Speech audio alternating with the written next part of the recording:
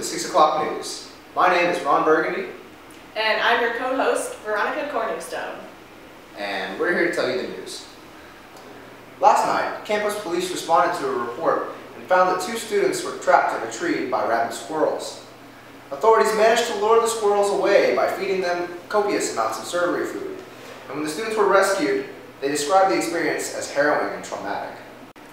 This just in, in breaking news, there has been an alien attack in the Hanszen Quad. Coming to you live from the field is Agent K with the full story. Thank you, Veronica. Just moments ago, there was a vicious attack in the Hanszen Quad. It was, animal, it was an animal attack from a species of unknown origin, possibly extraterrestrial. The victims were taken to the Houston Medical Center. We have footage of the attack now.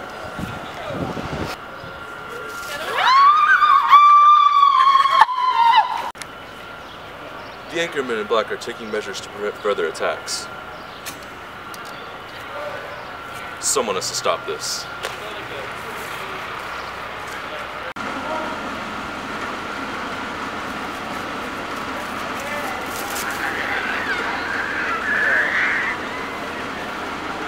The day is saved. Now that we've got the alien, we can take it back to the lab for testing. Back to you, Veronica. Uh, thank you, Agent K. Well, that escalated quickly. Anyway, folks, uh, that's all we have for you tonight. Uh, that's the 6 o'clock news. Uh, tune in in August for more reports on O Week. See you next time.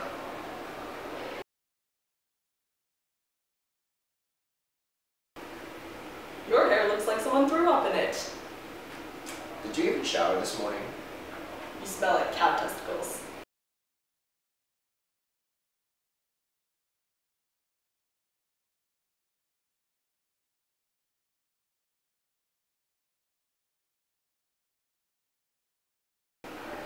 Your mother never loved you.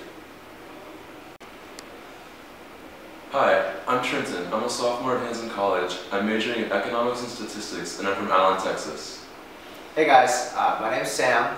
Uh, I'm a rising junior who's a major in bioengineering, uh, and I'm going to be you guys' affiliate uh, as a photographer, and I'm from Houston, Texas.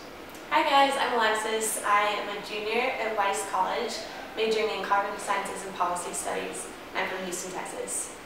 Hey guys, I'm Lauren Eggert. I'm an architecture and art history major from St. Louis, Missouri, and I'm going to be a senior at Hanszen College. And we are The Anchormen in Black. Stay classy, new students. And thanks for stopping by.